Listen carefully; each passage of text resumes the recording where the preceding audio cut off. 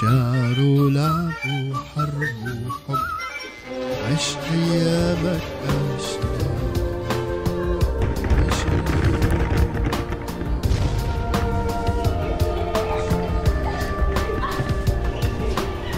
كوب الشراب المرصع بالازورق انتظرها عيشوا معنا قصة جديدة مع أمجد ولونا.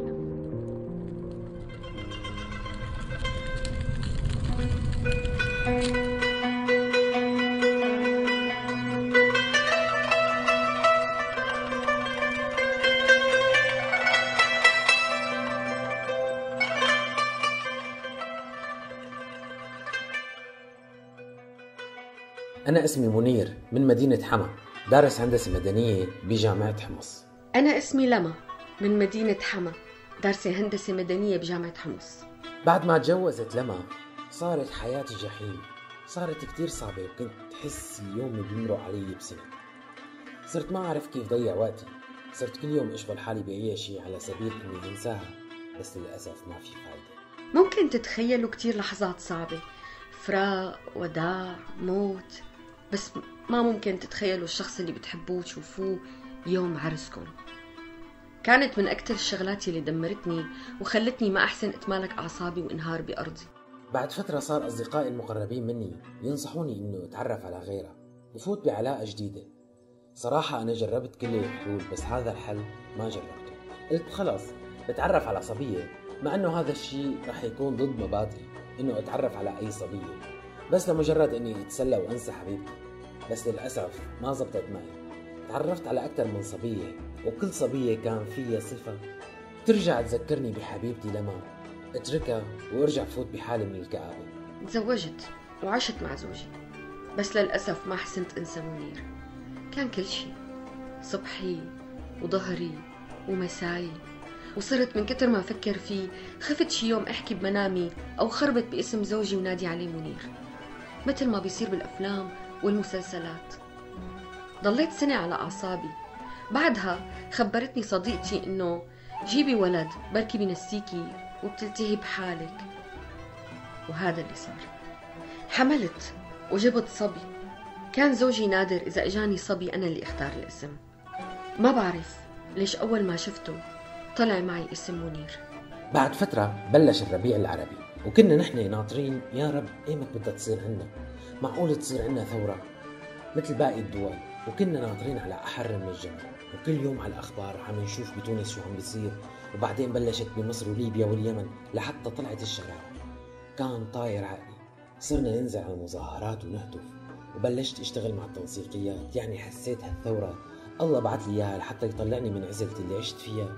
وهيمنت علي وعلى تفكيري. بعد ما جبت ابني منير انتقل شغل جوزي على حلب وصرت ما أشوفه إلا كل يوم خميس وجمعة. وبدل ما أنسى منير حبيبي صرت أتذكره كتير. وكل ما أطلع بمنير الصغير حس إنه هو موجود معي. وكنت كل ما ضمه لمنير الصغير أتذكر منير الكبير. وكنت ما أسخى إني أضربه وقت يعذبني. كان قطع من روحي. وبعد ما بلشت الثورة صار زوجي من الصعب إنه ينزل ويطلع على حلب بسبب الطرقات اللي صارت كتير خطرة. قرر إنه ننتقل على حلب وإنه حلب ما فيها شيء أمورها تمام. ومنه يعني قال إنه بيأمن علينا إنه ما نبقى لحالنا. ودعت أهلي وطلبت من زوجي يمرقني من جنب مدرستي القديمة وصرت أتذكر كل شيء. شمت ريحة منير. كانت أصعب لحظات حياتي. كأنه كأنه كنت عم ودع ذكرياتي. كبرت الثورة بسوريا وصار الحصار والقصف. اضطريت إني أعمل دورة بالإسعافات الأولية. ودورة بالدفاع المدني وإنه كيف بيتم عملية الإنقاذ. وأسسنا منظمة صغيرة تعنى بالإنقاذ. بلشنا نروح على المناطق اللي فيها قصف كتير. كانت مخاطر كبيرة ويمكن بيقولوا عنا مجانين أو انتحاريين. بس شعور وقت إنك تنقذ روح من تحت الانقاض كان شعور غريب ومن المستحيل إنه يوصف وصلنا على حلب بس أول ما دخلنا على المدينة عصني قلبي. يمكن لأنه حسيت الشوارع غريبة والعالم ما بعرفهم. الجو كان مطر. وبوقتها حاولت أتأقلم بس ما حسنت. صرت أضغط على حالي. اللي كان معزيني بغربتي إنه وضع حلب منيح وإنه حاب يربي منير بعيد عن التفجير والخطف.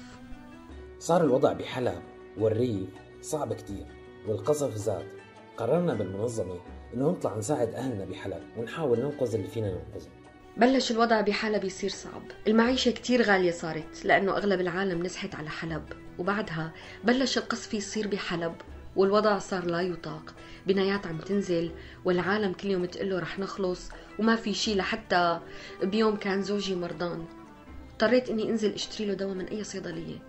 بوقتها كان صوت الرصاص كتير وطيران بشكل جنوني. اضطريت خلي ابني منير مع أبوه وكنت كل ما أشوف صيدلية لاقيها مسكرة واسأل العالم اللي بالشارع يقولوا لي لقدام في صيدلية تانية. ضليت شي ساعة بعدها وأنا راجعة كان في برميل نازل على العالم والناس صارت تصرخ وأنا ما استوعب شو اللي صار. صرت أركض خايفة من شي برميل يجيني. أركض أركض حسيت برجف بجسمي. حسيت حالي عم برجف حسيت غصة بقلبي حسيت بخوف كبير. تلبكت. ما عرفت شو بدي أعمل. صرت أركض يمين أركض شمال. ما عرفت وين البيت. قعدت بالأرض وصرت أبكي. حسيت بالبرد. قلت يمكن بدي موت. الله أكبر.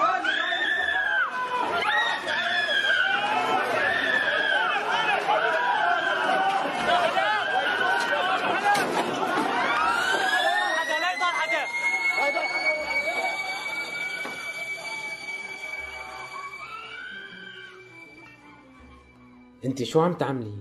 انت شو عم تعملي هون؟ لك ليش هيك منظرك؟ جوزي ابني عم يقولوا لي انه هي بنايتنا بس عم بيكذبوا علي. بنايتنا مو بهذا الشارع. مين انت؟ أنا منير. لك أنا منير أنا منير. طولي بالك أنا منير والله. منير؟ ابني منير؟ معقول؟ معقول كبرت بهالسرعة منير؟ فقدتك يا عز الناس فقدت الحب والطيبة وأنا من لي في هالدنيا سواك طالت الغيبة. أنا من لي في هالدنيا سواك طالت الغيبة. بعد ما شفتها للما بهالحالة تمنيت إنه لو لو ما جيت على حلب لكل اللي زادت الطين بلة إنه سمت ابنها على اسمي واللي حرق لي قلبي إنه ضيعت عقلها ضيعت عقلها. رح أعمل جهدي إني أنزل. كنت رح أخسر حياتي بس للأسف للأسف. ابنها وزوجها ماتوا.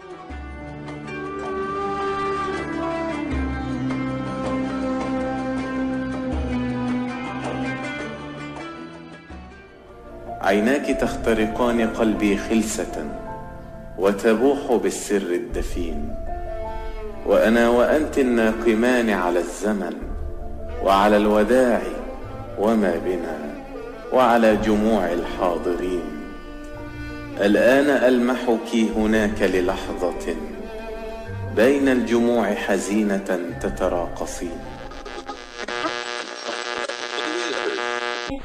هذا البرنامج من إنتاج راديو سوريالي 2016 عم تسمعوا راديو سوريالي.